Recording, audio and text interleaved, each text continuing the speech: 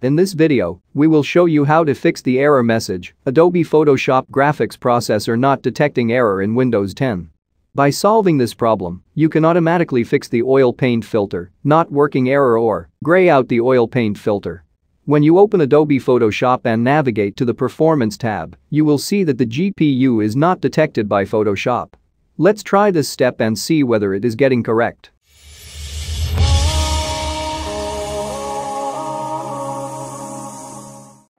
Close the Photoshop application and click the Windows button. Select the setting icon on the Start menu. In the Settings tab navigate to System. Scroll down in the display settings until you meet the graphic settings. In this window, you can manually set up GPU performance levels for each application. So you need to add the Adobe Photoshop app and set up performance settings. First, browse the application, then select your installed location of the app.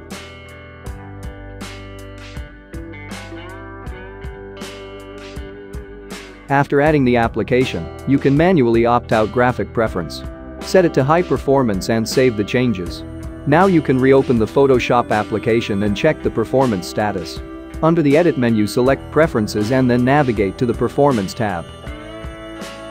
Now you can see the graphic card is detected by Photoshop.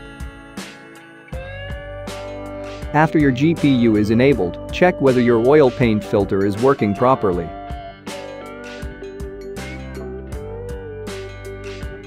If this method is not working for you, download and install the latest graphics drivers for your graphics card from the manufacturer's website.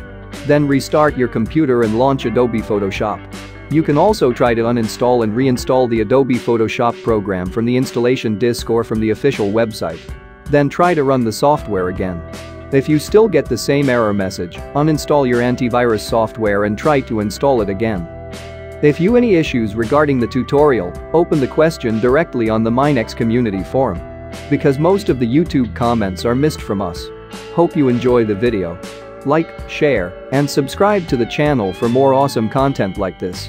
Thank you for watching Minex.